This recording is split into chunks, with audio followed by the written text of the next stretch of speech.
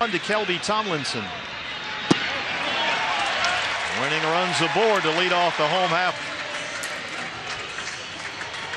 And last night. mixing things up.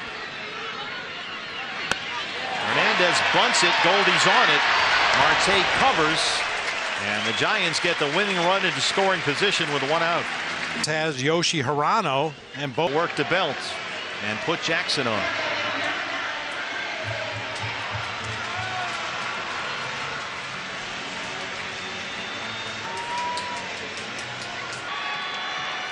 There go the runners.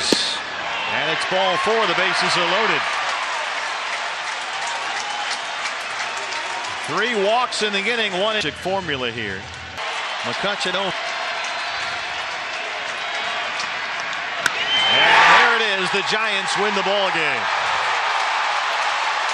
McCutchen, who won Saturday's game here against the Dodgers in the 14th inning with a home run, wins it with a walk-off single. And the D-backs lose for just the third